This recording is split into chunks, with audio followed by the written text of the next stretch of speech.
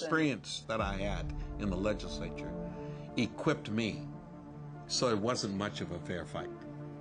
I was far too much experience and too much ahead of uh, the folk. I tried to make things work. Like, for an example, I knew that you had to have growth in the city if it's to work. You've got to create jobs. You've got to build opportunities that generate profit for some people. Progressives are opposed to growth. They are opposed to all those kinds of things. I've had two Moderna, two Pfizer, and two Verizon.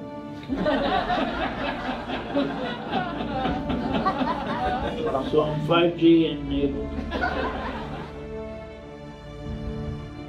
You know, I lived in a town where you had those kind of buses, where you moved the thing on the bus to say who could sit where. No one ever questioned the efficiency and the effectiveness of my performance. And that's what pissed them off. You couldn't have a black person building a ballpark.